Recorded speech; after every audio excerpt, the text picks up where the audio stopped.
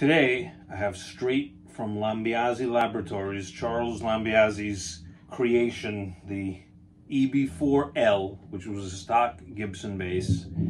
It has a split pickup, a split mudbucker, which they never did before and they never did again. This is a Kurt Novak mudbucker, Hipshot bridge. Charles took out the this three-way switch that worked with this pickup and he put a Varitone in He's got a coil tap.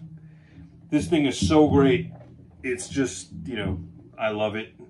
It's making me want to buy an EB4L, but I have to try to stop.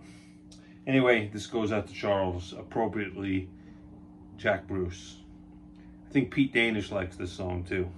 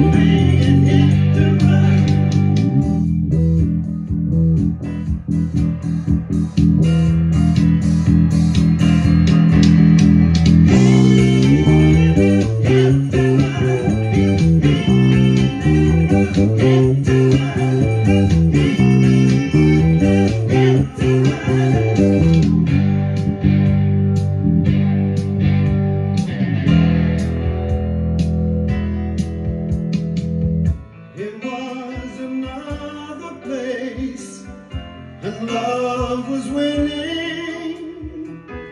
Now it's a different race, have to begin once again.